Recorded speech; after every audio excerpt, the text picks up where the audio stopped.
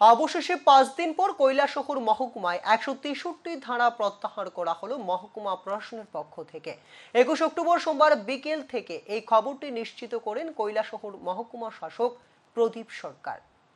গত ষোলোই অক্টোবর বুধবার কৈলা শহরের ইরানি থানার অন্তর্ভুক্ত যুবরাজনগর গ্রাম পঞ্চায়েত এলাকায় রাতের অন্ধকারে মসজিদে আগুন লাগানোর পর গোটা কৈলা শহর মহকুমায় খানিকটা আইন শৃঙ্খলার অবনতির কারণে মহকুমা প্রশাসনের পক্ষ থেকে কৈলা শহর মহকুমায় অনির্দিষ্ট কালের জন্য একশো তেষট্টি বিএনএসএস জারি করা হয়েছিল। একশো তেষট্টি ধারা জারি থাকাকালীন গোটা কৈলাসহর মহকুমায় থমথমে পরিবেশ বিরাজ ছিল। যদিও পরবর্তী সময়ে একশো তেষট্টি ধারা জারি থাকাকালীন কৈলাসহর মহকুমায় বড় ধরনের কোনো অপ্রীতিকর ঘটনা ঘটেনি। একশো তেষট্টি ধারা থাকাকালীন গত উনিশ অক্টোবর শনিবার বিকেলে ইরানি থানা প্রাঙ্গণে জেলা আরক্ষা দপ্তরের উদ্যোগে এক শান্তি বৈঠক অনুষ্ঠিত হয়েছিল। সেই শান্তি বৈঠকে প্রশাসনের আধিকারিকদের পাশাপাশি প্রতিটি রাজনৈতিক দলের প্রতিনিধি এবং সমাজের বিশিষ্টজনেরা উপস্থিত ছিলেন। ষোলোই অক্টোবরের শান্তি বৈঠকে শান্তি সম্প্রীতি বজায় থাকার পক্ষেই সওয়াল করেছিলেন প্রতিটি রাজনৈতিক দলের প্রতিনিধিরা।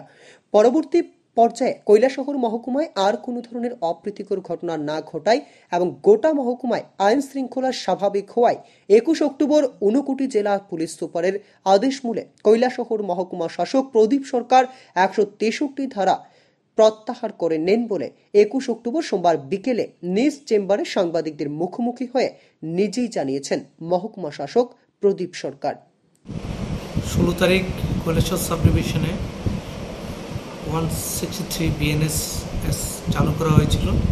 আজকে বিকাল দুইটা থেকে এই যে one sixty three BN BNSS বা কারফিউ আমরা যেটা বলি, এটা আমরা উঠিয়ে নিয়েছি। এটা আমরা এসপি ঊনকোটি ডিস্ট্রিক্ট থেকে এটা অর্ডার পেয়েছি রিকুইজিশন পেয়েছি যে ল অ্যান্ড অর্ডার প্রবলেম যে প্রবলেম ছিল সেটা ইমপ্রুভমেন্ট হয়েছে, তাই আমরা এটা উঠিয়ে নিয়েছি।